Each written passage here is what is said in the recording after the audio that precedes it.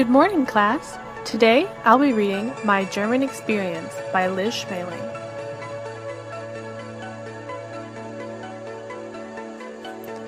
Once upon a time, in a little town in Wisconsin, an eighth grade girl named Liz decided that she wanted to learn German. She enrolled in German 1 at her high school and looked forward to the beginning of the school year. On her first day of class, Liz walked timidly into her German classroom and sat down in the front row. Her German teacher entered the room.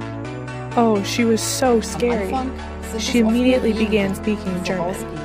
Liz didn't understand any of it and desperately thought about dropping the class. There was no way she'd ever be able to keep up. Luckily, her teacher was only joking. She was just showing her new students how beautiful the German language could be when spoken properly.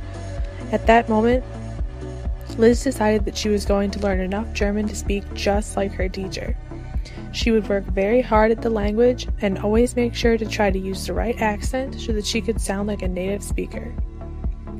Liz loved her German teacher, Frau Schutt. She was a very sweet lady with a kind heart.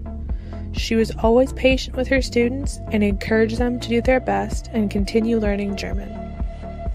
Liz became so close with her teacher that she came to think of Frau Schutt as her second mother and was very sad to say goodbye to her on Liz's last day of high school.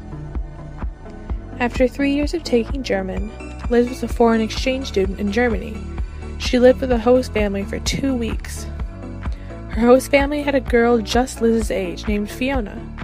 Fiona introduced Liz to all of her German friends and took her with them wherever they would do something fun.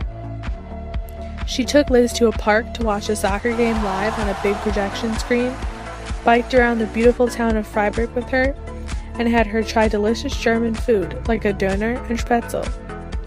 One of Liz's favorite things to do in Germany, though, was hiking.